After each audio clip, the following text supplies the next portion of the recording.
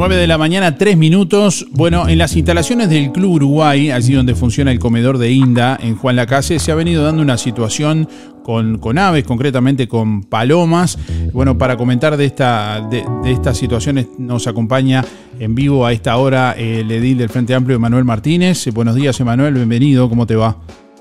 Darío, buenos días. Muchas gracias por el contacto. Bueno, muchas gracias a vos. Eh, ¿Qué nos puedes decir sobre esta situación que se ha venido dando? Tal es así que, bueno, se va a trasladar del lugar el, comedor. Sí, es así. Ya hace algunos años habían dado distintas circunstancias con el, con el local. Y bueno, hace un par de semanas atrás recibí este, un comentario, una denuncia de un vecino de la localidad que, que, bueno, que había constatado que durante el transcurso de, de servirse, digamos, el almuerzo en, el comedor de Inda, este, la presencia, ¿no? De este excremento, de, palomas, de aves, este, en, las mesas y bueno, y, hasta encima de las personas. Y, bueno, ante este, semejante denuncia, lo que hicimos fue comunicarnos, obviamente, con este, parte del equipo del municipio para conocer eh, un poco este, la, la, situación y con este, la directora concretamente de Acción Social de la Intendencia, este, la, licenciada Chela Cartolano, que, bueno, muy gentilmente nos atendió inmediatamente y nos dio las, este, las explicaciones del caso. Uno nos, nos transmiten y no es una situación que ellos desconocieran, que ya hace algún tiempo que están trabajando en la situación. De hecho, este, lo, lo han hecho con el, con el propio municipio. En un momento este, se pensó en la posibilidad de, trasladarlo a otro local ya hace un tiempo. El municipio incluso había ofrecido este, ciertos fondos ¿no? de, de los que se maneja este, anualmente el municipio que, podía acceder. La Intendencia en ese momento lo desestimó, entendió de que se podían hacer ciertas refacciones en el, el local actual, digamos, y, este, que fuera paliativo.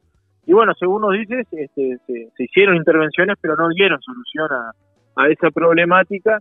Y ahora, sí, ya este, algunas semanas atrás, resolvieron este, mudar el comedor a otro local cercano que aparentemente la Intendencia ya tendría, este, bueno, alquilado, digamos, y se está a la espera de una inspección de INDA, que es quien sirve, digamos, los alimentos, para, este, bueno, dar las indicaciones de eh, el preparado, digamos, lo que es la cocina y este, allí sí poder trasladar todo el servicio del comedor al, otro local. Entendiendo un poco cómo es el mapa institucional, el comedor funciona, eh, es de INDA, funciona, digamos, en la órbita de acción social de la Intendencia de Colonia y el municipio de algún modo, bueno, realiza su aporte por ser algo a nivel local también, eh, su, colaboración como a tantas actividades. ¿Cuántas personas concurren allí?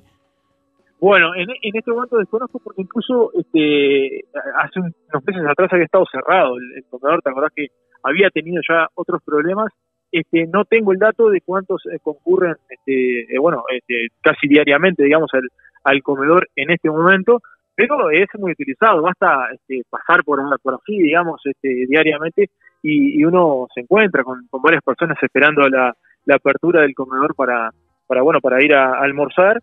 Eh, y sí, como tú lo decías, esto tiene como, digamos, las tres partes del, del, gobierno, ¿no? Está, digamos, el INDA, que es el Instituto de Alimentación, digamos, que, es el que brinda los alimentos, y la Intendencia es quien pone, digamos, la logística del comedor.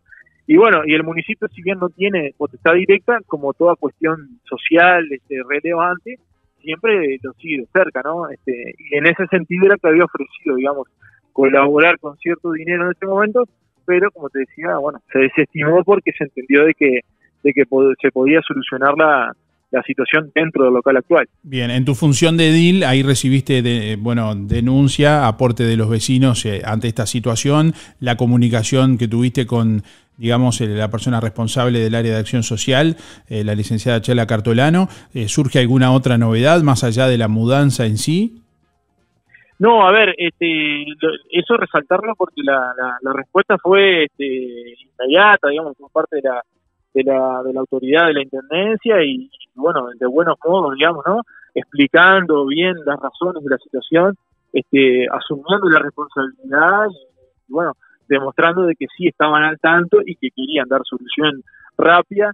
Preocupa un poco porque, bueno, obviamente no siempre los tiempos de, del Estado, digamos, ¿no? los temas burocráticos y administrativos, no siempre tienen la celeridad que requieren las situaciones de, de la gente, ¿no? y bueno, en este caso había cierta preocupación porque no sabemos cuánto puede llegar a, demorar, digamos, la mudanza, ¿no? Entonces, este, es una situación que de, seguir ahí se va a mantener. Entonces, bueno, lo que a lo que aspiramos, digamos, y que trasladamos a, la directora es, este, bueno, que, que digamos se pueda lo más rápido posible dar solución y ella nos manifestaba que bueno que eso ya pasa a ser de la órbita de Linda que ya estaban este, notificados y que, que, bueno lo que lo que tienen que hacer es visitar el local nuevo y este bueno expresar digamos cómo el, armado de la cocina más que nada y después sí a partir de ese momento ya mudar la cocina y el comedor que eso sí este, la intendencia ya está esperando para implementarlo, ¿no? Bien. Esperemos que sea lo, más rápido posible. Bien, volviendo al principio y repasando por si alguien eh, arrancó a escuchar la nota empezada, estamos hablando de la situación que se dio con palomas y bueno, con eh, excremento de palomas justamente en, y de aves en, en, las mesas donde funciona el comedor de Inda.